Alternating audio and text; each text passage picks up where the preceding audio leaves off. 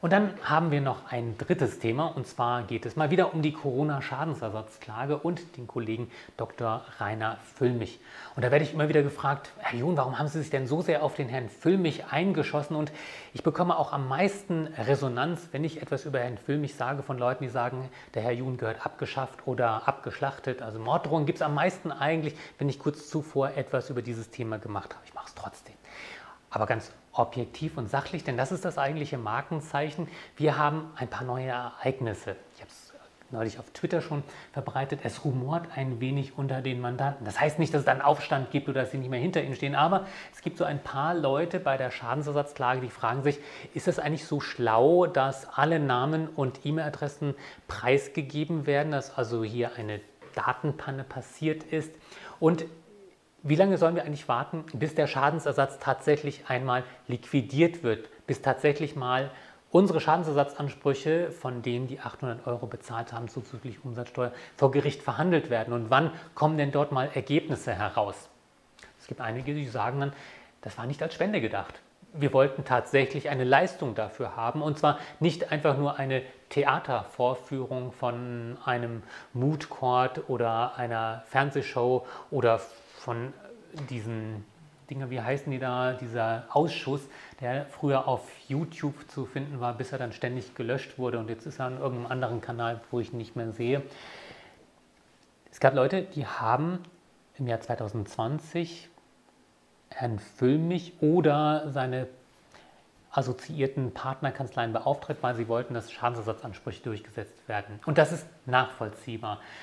Derjenige, der als gewerbetreibender Unternehmer von Corona-Maßnahmen betroffen war und nicht ausreichend kompensiert wurde durch Überbrückungshilfe 1, 2, 3 plus und so weiter, der hatte durchaus Grund, sich umzusehen, ob es nicht Möglichkeiten gibt, den Schaden zum Beispiel gegen den Staat oder einzelne Akteure durchzusetzen. Und da kann man unterschiedlicher Auffassung sein, ob jetzt Herr Drosten Schuld in dem Sinne hat oder Herr Wieler oder der Gesundheitsminister oder der Staat. Aber es ist zunächst mal nachvollziehbar, dass man diese Ansprüche prüfen lässt. Und das war das Ziel von dieser Aktion der Corona-Schadensersatzklage oder Corona-Sammelklage.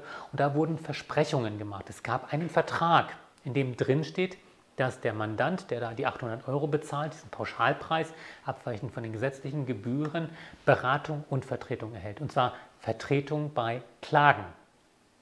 Das heißt, es wurde durchaus versprochen, dass die Leute, die in dieser Klage mitmachen, ihre Ansprüche vor Gericht geltend machen könnten.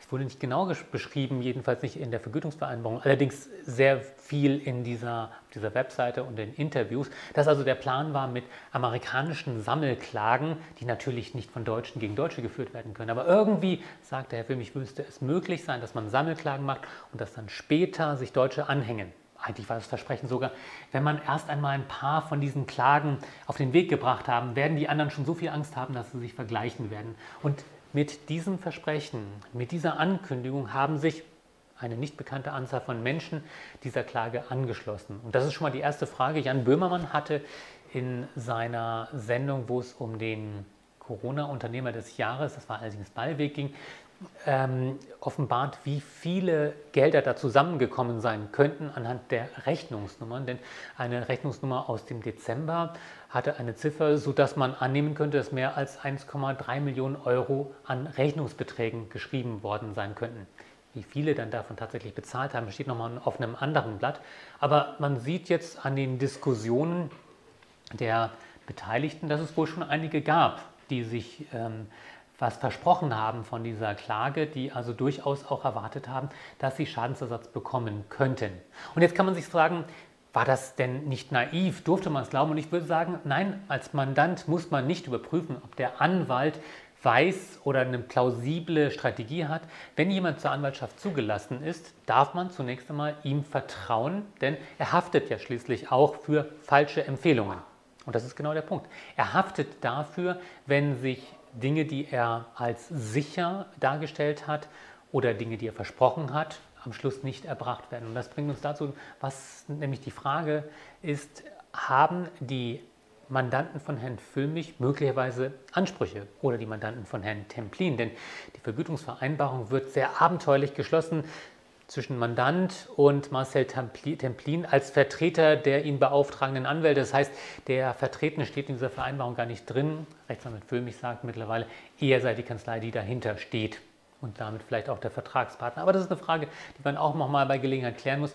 Es sieht ja so ein bisschen so aus, als wäre Herr Templin lediglich Vertreter und somit nicht Vertragspartner. Dann muss man sich fragen, mit wem habe ich denn den Vertrag geschlossen? Denn die Rechnung wiederum wird von Rechtsanwalt Templin ausgestellt. Der weist auch die Mehrwertsteuer aus, also muss er Vertragspartner sein. Wenn er nicht Vertragspartner ist und trotzdem die Mehrwertsteuer ausweist, dann muss er sie abführen, auch wenn sie nicht bezahlt ist. Und der Mandant darf sie aber nicht als Vorsteuer geltend machen.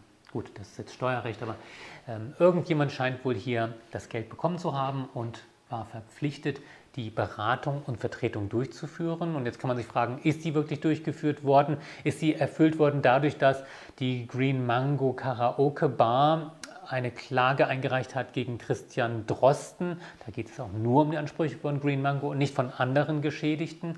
Und der Fall wurde auch nicht wirklich verhandelt, weil Herr Füllmich nicht bereit war, eine Maske zu tragen und daraufhin dann ein Versäumnisurteil bekam. Keine Ahnung, ob mittlerweile Einspruch dagegen eingelegt wurde. Was gab es noch? Es gab eine Klage, es war in Amerika, aber keine Sammelklage, auch nicht gegen Herrn Wieler oder Herrn Drosten, sondern gegen die New Yorker Schulbehörde wegen Anordnungen, die eher verwaltungsrechtlicher Natur waren. Und es waren auch keine Deutschen, die dort Kläger waren. Es wurde auch nicht auf Schadensersatz geklagt. Also es hat eigentlich relativ wenig mit dem zu tun, was eigentlich hier angekündigt war. Zählt das als das, was man versprochen hatte? Es gab eine Sammelklage in Kanada für die indigene Bevölkerung gegen die Queen und den Papst und Gates Foundation und ganz viele andere. Auch da nicht Wieler oder Drosten. Auch da eine Klage, die wenig geprägt war jetzt von dieser Aktion der Corona-Schadensersatzklage und wo auch nicht verständlich ist, welche Erkenntnisse daraus jetzt einen Nutzen haben könnten für die Schadensersatzansprüche, zumal auch hier die Klage als querulatorisch abgewiesen worden war. Herr Füllmich hatte schon vor einiger Zeit gesagt, dass das eigentlich gar nicht funktionieren kann. Denn das System ist sozusagen durchsetzt oder korrupt und das auch sei auch für die Justiz der Fall. Und da kann man sich dann fragen, warum, wenn denn das ganze System so kaputt sein soll, versucht man dann dieses System damit zu beauftragen, das aufzuklären. Und das sage ich schon seit anderthalb Jahren.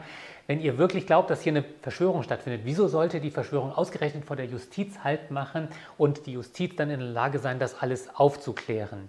Wollte man tatsächlich herausfinden, wie weit die Aussagekraft von PCR-Tests bei hohen CT-Werten geht, dann hätte man das in Deutschland durchaus durch ein Sachverständigengutachten klären können. Und man wäre wahrscheinlich auch zu dem Ergebnis gekommen, dass man mit einem CT-Wert von über 32 vielleicht keine so große Gefahr für die Allgemeinheit mehr darstellt, insbesondere wenn man schon am absteigenden Ast ist, was die Infektiosität betrifft. Das wären sinnvolle Klagen gewesen und man könnte dann durchaus Abwägungen führen.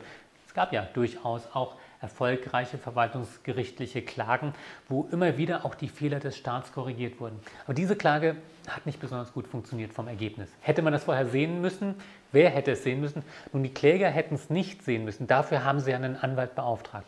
Und das bringt uns zu dem Punkt, dass die Kläger womöglich Ansprüche haben, aber gegen Herrn Füllmich oder Herrn Templin auf Rückzahlung der geleisteten Beiträge vielleicht oder für die Kosten einer Ersatzvornahme, also die Kosten, die man für eine echte, seriöse und individualisierte anwaltliche Beratung bräuchte. Womit ich nicht sagen will, dass Herr Füll mich nicht seriös beraten würde, aber er berät halt auf eine bestimmte Art und Weise, die eben nicht dazu führt, dass ein durchsetzbarer Anspruch auf Schadensersatz hier entsteht.